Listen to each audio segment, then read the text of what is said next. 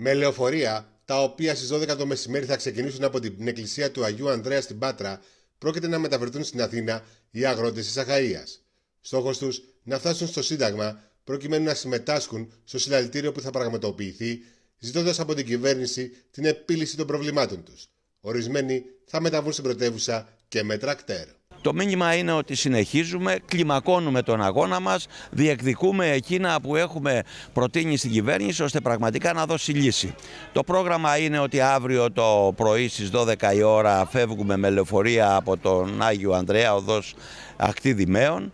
Ε, προχωράμε στο βάθος στα Μέγαρα, συναντιόμαστε και με τους άλλους συναδέλφους από άλλες περιοχές της Πελοποννήσου και οργανωμένα πάμε όλοι μαζί στην Ομόνια στις 5 η ώρα το απόγευμα όπου εκεί θα γίνει η προσυγκέντρωση για να πάμε στο Σύνταγμα. Υπάρχουν και τραχτέρ που έχουν κλείσει για να έρθουν μαζί μας. Αυτό θα προκύψει όσον αφορά με το δρομολόγιο γιατί τα περισσότερα τραχτέρ θα είναι φορτωμένα και ενδιάμεσα θα κατέβουν να πάνε ε, πορεία σε φάλαγγα στο κέντρο της Αθήνας. Από ό,τι φαίνεται και τα μηνύματα έρχονται από όλη την Ελλάδα ότι θα υπάρχει μεγάλη συμμετοχή. Καλούμε όλους τους αγρότες πρώτα απ' όλα να παραβρεθούν, να έρθουν στα λεωφορεία στις 12 η ώρα να πάμε στην Αθήνα, ώστε πραγματικά να διεκδικήσουμε αυτά που δικαιούμαστε και αυτά που μας ανήκουν. Οι διαθέσεις που υπάρχουν είναι ιδιαίτερα αγωνιστικές, καθώς όσο περνάει ο καιρός, το αγροτικό εισόδημα όλο ένα και μειώνεται, ενώ οι συνθήκες που διαμορφώνονται για τους αγρότες είναι ασφικτικές. Από ό,τι φάνηκε και μετά, ενώ όλοι έλεγαν μετά τη συνάντηση με τον Πρωθυπουργό το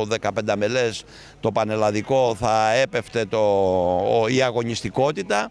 Βλέπουμε όμως ότι η αγωνιστικότητα κρατάει και όχι μόνο κρατάει, αναπτύσσεται, κλιμακώνεται ο αγώνας και πάμε πραγματικά ε, στη διεκδίκηση ώστε να αμυφθούμε εκείνο τον κόπο που μας ανήκει. Μάλιστα, προκειμένου να αντιμετωπιστεί όλος αυτός ο αριθμός των τρακτέρ στην πρωτεύουσα, γίνονται απανοτέ σκέψεις στο Υπουργείο Προστασίας του Πολίτη και έχει καταστρωθεί ειδικό σχέδιο παρακολούθησης των διαμαρτυρωμένων από την αστυνομία.